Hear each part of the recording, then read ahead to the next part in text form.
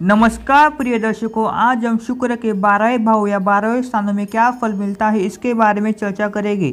यह फल सर्वसामान्य है, क्योंकि आपकी कुंडली में यदि शुक्र उच्च राशि में हो, यानी मीन राशि में तो वह अच्छा फल देगा। यदि अगर वह नीच राशि में हो, यानी कन्या राशि में तो वह अच्छा फल नहीं देगा।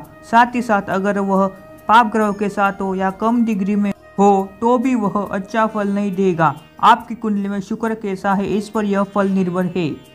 नवम भाव में स्थित शुक्र का फल।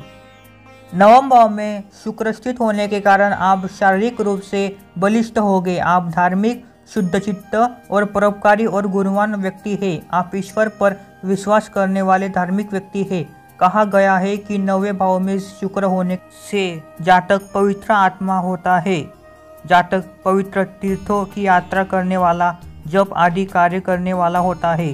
अतः आप में भी ये गुण होने चाहिए।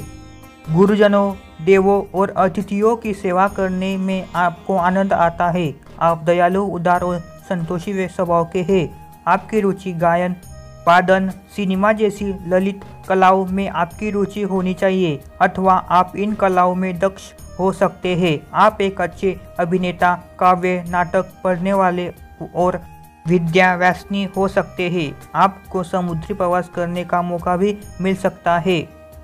आपकी स्तर पर आपकी गणना धनाढ़ में होगी। आप अपने बाहुबल से भूख धन अर्जित करेंगे।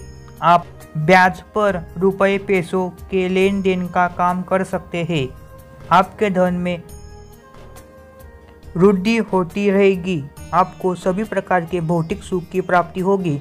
आप उत्तम परिधान पहनने वाले राजप्रिय व्यक्ति होंगे। विवाह के बाद आप अधिक सफल होंगे। यहाँ स्थित पिता के लिए कभी कभार थोड़ी प्रतिकूलता दे सकता है। दशम भाव में स्थित शुक्र का फल। दशम भाव में स्थित शुक्र आपके शरीर को सुंदर बनाता है और आकर्षक व्यक्तित्व देता है। आपका स्वभाव शांत और मिलासार होगा। आप विवादों से बचने का भरसक प्रयास करते हैं। आमतौर पर आपका नैतिक आचरण अच्छा ही रहेगा। आप धार्मिक और श्रद्धालु स्वभाव के होंगे। यज्ञ और पूजा पाठ में भी आपकी अच्छी रुचि होगी। दान पुण्य जैसे कार्यों में आपकी पूरी श्रद्धा होगी। आपको अनेक शास्त्रों का ज्ञान होगा। आप यशस्वी व्यक्ति होंगे और लोग आपको आदरणीय और माननीय मानते होंगे। आप एक अच्छे वक्ता होंगे। धन दौलत की कमी आपको नहीं रहेगी। आपके पास सोना, चांदी, रत्न, इत्यादि का संग्रह हो सकता है। राजपक्ष या सरकार से भी आपका जुड़ाव हो सकता है, या तो सरकारी नौकरी कर सकते हैं अथवा कोई पद प्रतिष्ठा पा सकते हैं। आमतौर पर आप जिस चीज़ का संकल्प करेंगे, वह पूर्णतः को प्राप्त होगी। आप विपरीत लिंगियों के चहते होंगे। आपका विवाह उच्च कुल में होना चाहिए। विवाह के पश्चात भाग्य, नटी और धन लाभ होना चाहिए। जीवन साथी से आपको अच्छा लाभ और सम्मान प्राप्त होगा। गायक, वादन, साहित्य रचना, चित्रकारी जैसी ललित कलाओं में आपकी अच्छी रुचि होगी। आपका जीवन सुखी रहेगा और आप विभिन्न देशों में प्रवास करेंगे। एकादश भाव में स्थित शुक्र का फल। यहाँ स्थित शुक्र आपको विभिन्न शुभ परिणाम देगा। आपका स्वरूप आकर्षक और शरीर निरोगी होगा। आप गुणवान और अच्छे स्वभाव वाले व्यक्ति हैं।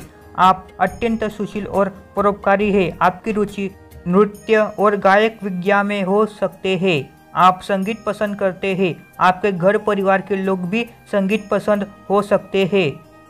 आप स्वभाव से उदार और सदाचार संपन्न व्यक्ति है। आप उत्तम गुणों से संपन्न, विनोदी और सत्य बोलने वाले व्यक्ति है। आप शुभ कर्म करने वाले व्यक्ति है। आप स्वभाव से धार्मिक और शास्त्रोचित आचरण करने वाले हैं। आप ज्ञानी और ईश्वर भक्त है। आप अपनी वाक्य चतुर्यता के कारण प्रसिद्ध होंगे। आपको विभिन्न प्रकार के वाहनों का सुख मिलेगा।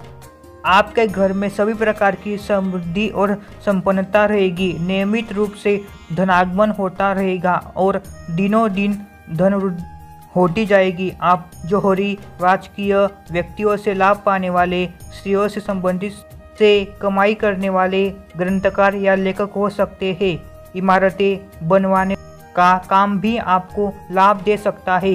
विवाह के माध्यम से भी आपको लाभ मिलेगा। द्वादश भाव में स्थित शुक्र का फल। यहाँ शुक्र के स्थित होने के कारण आप वैभयुक्त और तेजस्वी होंगे। आप गुणवान लोगों का आदर करने वाले और श्रेष्ठ कर्म करने वाले व्यक्ति हैं। गुणवान लोग ही आपकी कदर करते हैं। आपको जीवन में धन संपत्ति का अभाव देखने को नहीं मिलेगा। आप व्यर्थ के कामों में धन खर्च करने से बचना है, लेकिन आपने सुख सुविधाओं के लिए खर्च करने में संकोच नहीं करते। आप अपने धन को शुभ कर्मों में खर्च करने का आनंद का अनुभव करते हैं। यहाँ का शुक्र काम क्रीड़ा में निपुणता देता है। आपका विवाह अपेक्षाकृत जल्दी हो सकता है। आप विपरीत लिंगियों के आकर्षण का केंद्र होते हैं। आप अपने आचरण से सबको प्रसन्न रखने की कोशिश करते हैं। और बहुत हद तक कामयाब भी होते हैं। आपके मित्रों की संख्या खूब हो सकती है। अशुभ फल के रूप में यहाँ का शुक्र आपको कामुक बना सकता है अथवा बढ़ने के साथ साथ मितापा आप पर हावी हो सकता है। कभी कभी व्यर्थ के कामों में भी आप बड़ा खर्च कर सकते हैं। आत्मनीय जनों से मन मुटाव हो सकता है। विरोधियों के कपट को न समझते हुए आप उसमें आत्मनियता रख सकते हैं। आप पत्नी की बेगदरी कर सकते हैं या विवाहतर संबंध में रुचि हो सकती है। हमारे चैनल को सब्सक्राइब, शेयर और लाइक कीजिए। धन्यवाद।